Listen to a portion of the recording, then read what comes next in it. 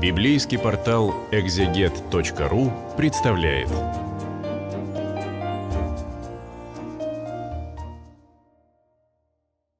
Библейский портал «Экзегет.ру» представляет цикл бесед о книге «Бытия». Сегодня мы с вами читаем 34 главу.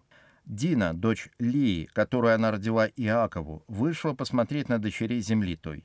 И увидел ее Сихем, сын Еммора Евиянина, князя земли той, и взял ее, и спал с нею, и сделал ей насилие. И прилепилась душа его к Дине, дочери Иакова, и он полюбил девицу и говорил по сердцу девицы. И сказал Сихем Еммору, отцу своему, говоря, «Возьми мне эту девицу в жену».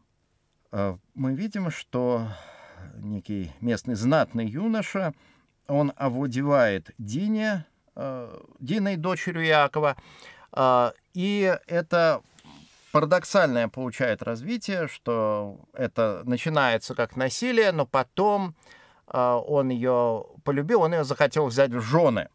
И он сказал Емору, отцу своему, говоря, возьми мне эту девицу в жену.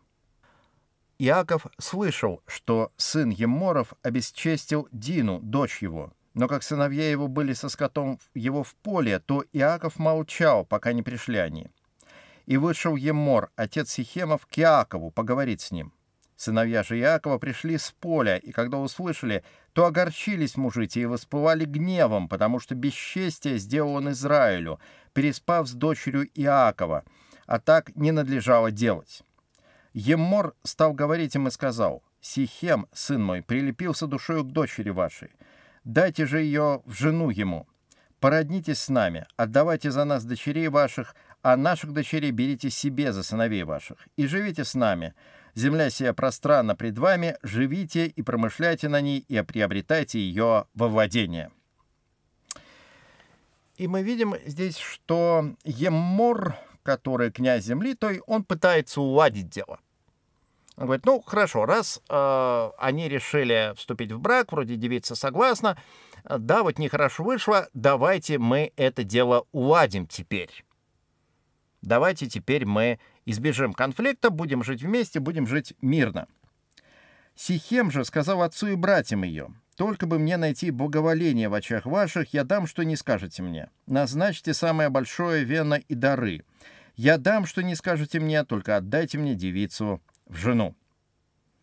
Вот этот юноша Сихем, он тоже говорит, что он готов взять ее в жены честь по чести, а, самые большие дары внести — то есть мы видим, что со стороны виновной, э, стороны, со стороны виновных людей есть желание примириться.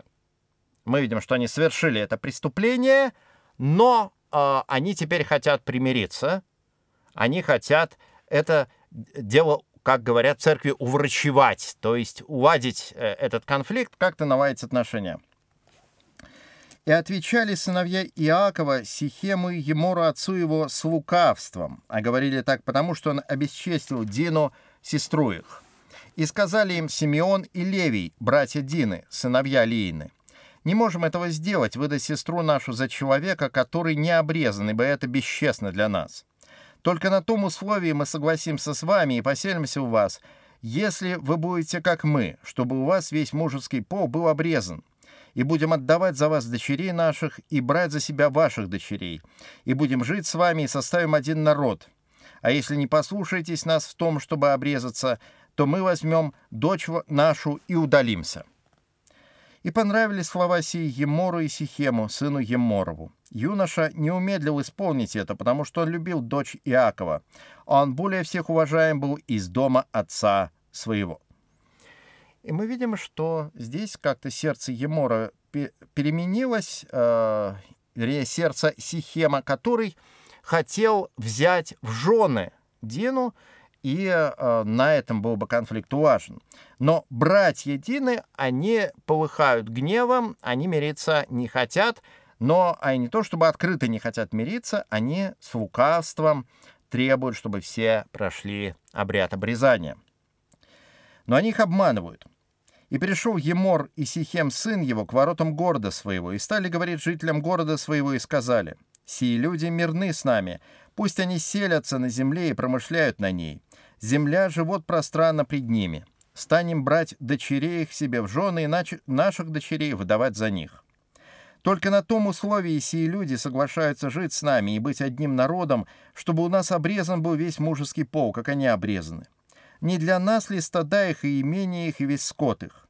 Только в том согласимся с ними и будут жить с нами. И послушались Емора и Сихема, сына его, все выходящие из ворот города его, то есть все взрослые жители, все выходящие из ворот. И обрезан был весь мужеский пол, все выходящие из ворот города его. На третий день, когда они были в болезни, два сына Иакова, Семен и Левий, братья Динины, взяли каждый свой меч и смело напали на город и умертвили весь мужеский пол. Ну, э, в Библии словом «город» называется на самом деле укрепленный поселок. То есть, ну, было что-то вроде деревни.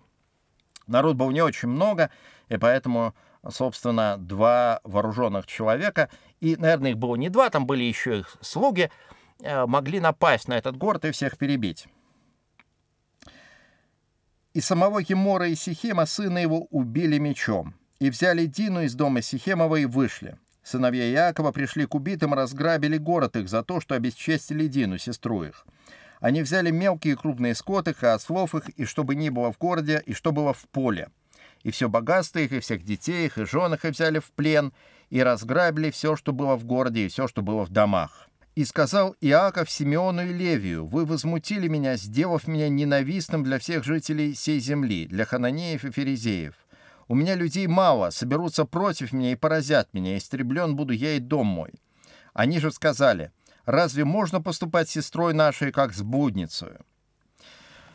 То есть э, эти люди отомстили за бесчестие своей сестры, и они выбрали путь мести, хотя был открыт путь примирения.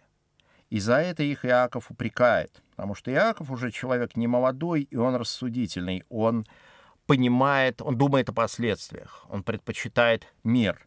Он пытается объяснить это Симеону и Левию, э, потому что он говорит, вы сделали меня ненавистным, вы наводите на меня беду. А они говорят, разве можно поступать с сестрой нашей как с блудницей? Мы видим здесь как бы два типа мышления. Одни люди просто разгневаны, и они хотят дать выход своему гневу. А Иаков, он действует как человек мудрый, как человек рассудительный. Ну и в итоге, что у них получается? У них на руках их обещанная сестра, э, мужчина, за которого она хотела выйти замуж сама, теперь убит, и теперь у них конфликт со всеми жителями земли той – и здесь мы видим, насколько разрушительно, насколько пагубно желание отомстить, особенно когда виновная сторона ищет примирение. И мы видим, что Иаков сам недавно искал примирение и был принят. Исав простил ему его обман. И вот пришли эти жители страны то искать примирение, и их обманули и перерезали. И Иаков был этим возмущен. Иаков не одобрил такого поведения сынов, но они, увы, его в этом не слушались. Мы с вами прочитали 34 главу книги «Бытия». Мы читаем Писание в рамках библейского портала «Экзегет.ру».